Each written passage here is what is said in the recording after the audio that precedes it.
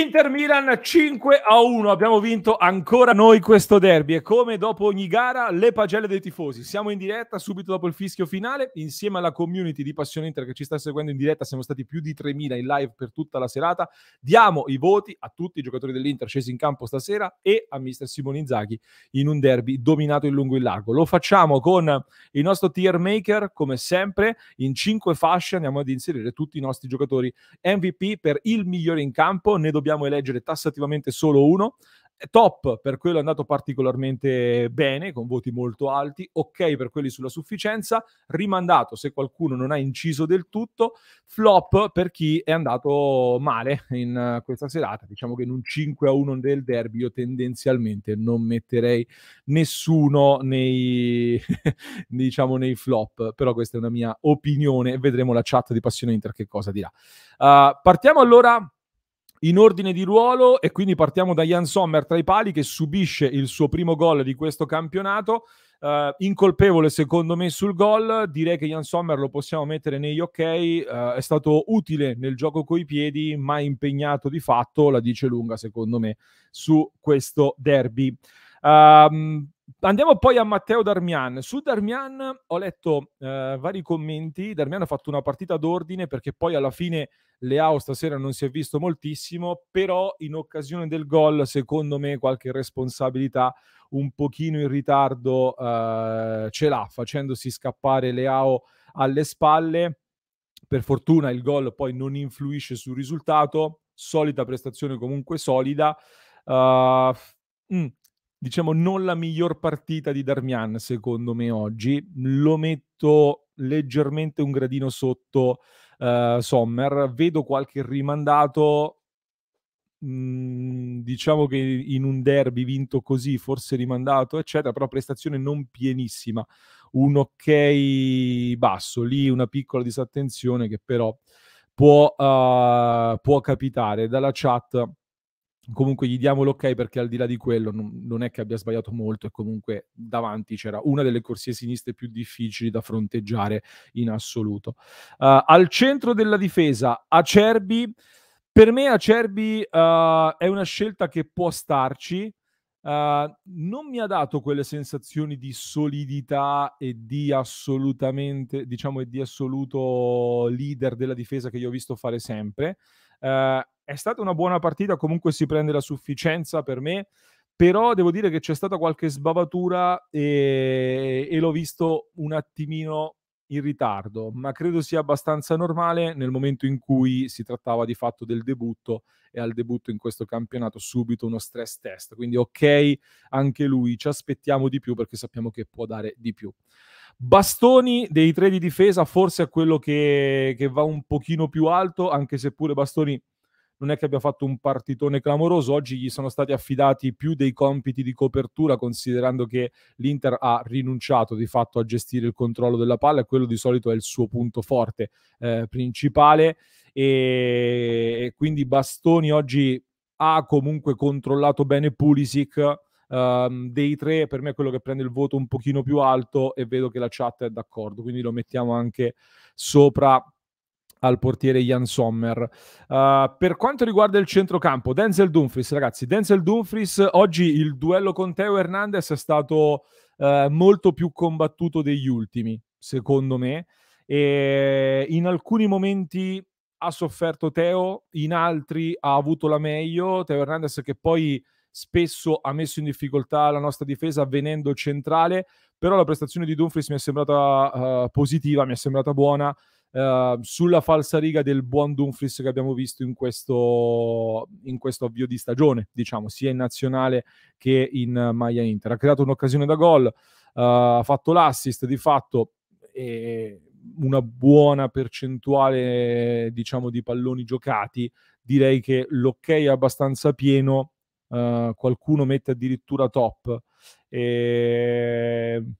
Dai, dai, ci può stare ci può stare il top in questo per Dumfries che lo stesso dicevamo aveva di fronte un avversario molto scomodo quindi Denzel Dumfries continua questo avvio di stagione eh, decisamente importante. Uh, I centrali, Barella ragazzi, Barella farà un pochino discutere perché oggi poi è stato sostituito e sono curioso di sapere la vostra. Mm, non la miglior partita di sicuro da parte di Barella. Eh, I centrocampisti meglio, diciamo, Barella per me si prende una sufficienza normale, una sufficienza. È, eh, è un giocatore che per me verrà criticato perché so come, viene, come vengono valutate le partite, per me rimane però un elemento chiave nel convertire le azioni da difensive a offensive e comunque nel ribaltare il campo e nell'avere il controllo del centrocampo. Per me rimane un giocatore che con o senza l'Inter comunque cambia e quindi poi alla lunga è calato, giusto sostituirlo per far entrare Frattesi e non sostituire Mkhitaryan, però diciamo ci sono state partite più appariscenti, appariscenti Barella si merita comunque l'ok a livello di voto e vedo che la chat è, è d'accordo. Uh, Cialanoglu, Cialanoglu oggi palloni giocati molti meno del solito, anzi uh, se non sbaglio nella gara contro il Cagliari ne aveva toccati 125, oggi ne avrà toccati sui 45 mi sembra, quindi un terzo, eh, ma tanto lavoro di interdizione. Poi segna anche il gol, sembrava quello un pochino più in ombra, ma poi alla lunga uh, la sua sostanza secondo me si è fatta sentire. Uh, io lo metto tra l'ok e il top, uh, visto anche il gol, il gol che segna, ragazzi, è un gol comunque importante su calcio di rigore che chiude di fatto la partita e lo possiamo mettere magari appena sotto il gradino del, del top, forse. Però però se lo merita, dai, il top, secondo me, Cialanoglu. Sto leggendo la chat e ehm, per me come peso ci sta.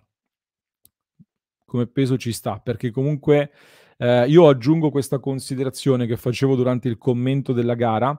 Uh, il centrocampo del Milan per me è più forte dell'anno scorso e quindi secondo me dobbiamo tarare la nostra prestazione anche su un Milan più forte l'anno scorso e quindi dobbiamo dare ancora più meriti ai nostri per aver vinto così questa partita. E, e Cialanoglu lì davanti la difesa, ragazzi, aveva dei compiti più difficili, soprattutto con Reinders che era sempre presente lì ad insidiare e, e, e il top comunque se lo merita pur non essendo estratto eh, diciamo così in vista. E così come Mkhitaryan ragazzi dai c'è poco dubbio Mkhitaryan giocatore spaziale. Eh, dicevo dategli una cattedra per favore perché questo è un professore di calcio. Eh, doppietta va vicino anche ad un altro gol mom- quando eravamo sull'1-0 serve l'assist. Eh, Mkhitaryan MVP assoluto voto ai limiti del 10, probabilmente un 9 potremmo dargli numericamente perché è una partita impressionante quella di Mkhitaryan. È fatto per questi palcoscenici e quindi non chiediamoci poi perché Inzaghi continua a preferirlo e continua a schierarlo dal primo minuto. Um, Di Marco Di Marco per me ha fatto una buona partita molto buona.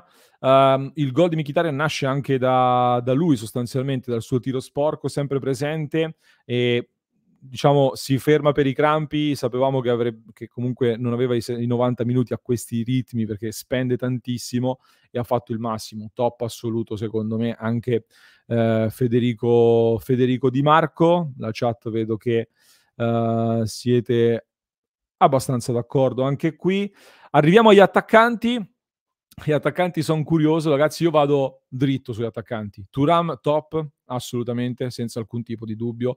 Oggi la partita eh, la stappa e la conduce sui binari della vittoria Turam subito dopo Mkhitaryan, perché contro, contro Ciao non gli fa capire nulla praticamente. Dicevo, il modo per mettere più in difficoltà la retroguardia del Milan è cercare di stanarli in campo aperto e, e, con Turam li abbiamo aggrediti, li abbiamo attaccati, ha fatto tante cose giuste, tante cose buone. Il gol è un capolavoro assoluto al primo derby.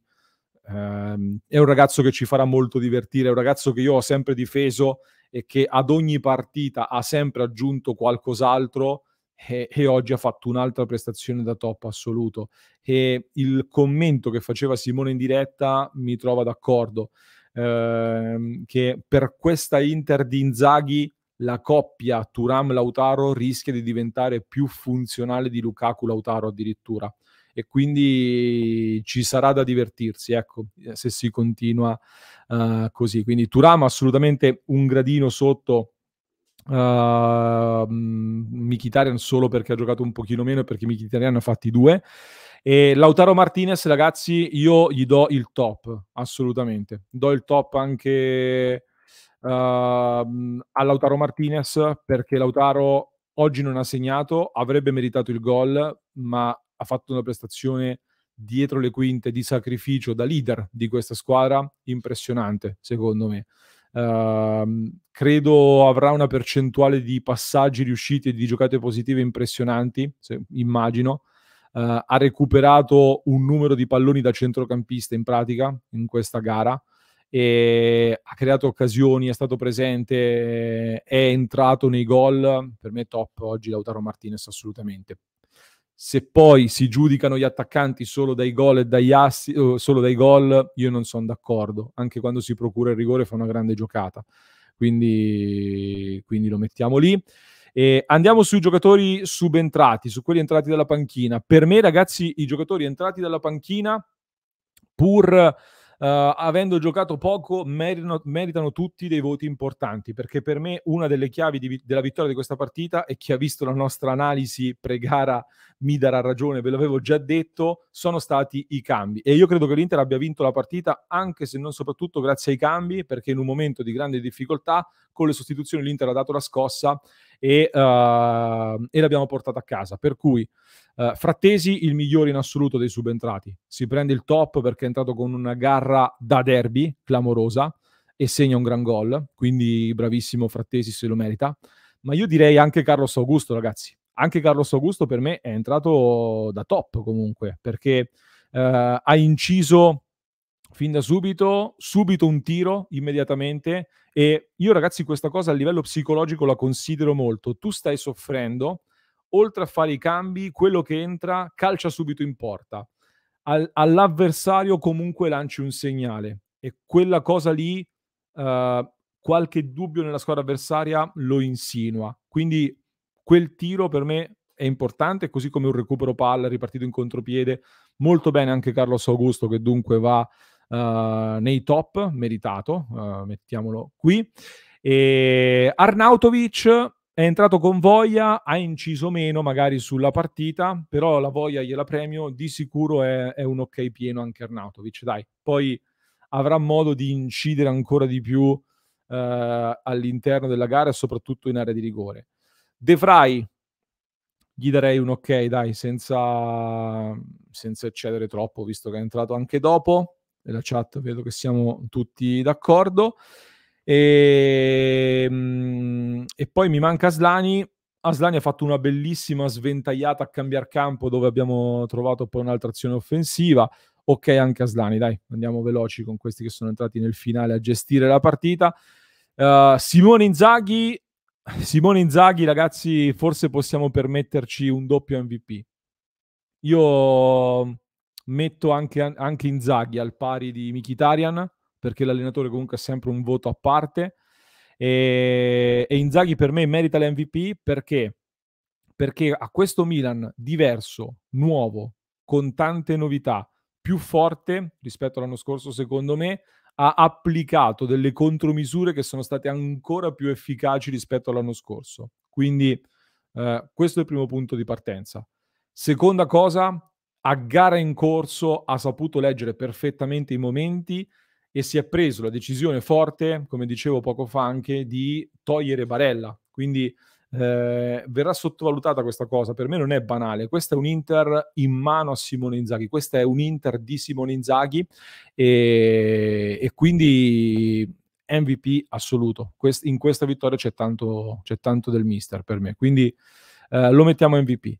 Chiudiamo qui allora, le nostre pagelle, fatemi sapere nei commenti se siete d'accordo con i nostri voti oppure no. Lasciate le vostre valutazioni. Vi ricordo che se volete partecipare anche voi alle pagelle dei tifosi potete farlo dopo ogni partita in diretta qui sul nostro canale, partecipando alla live, dando anche i vostri voti. Vi aspettiamo. Ricordatevi di iscrivervi al canale e di mettere un bel mi piace. Mi raccomando.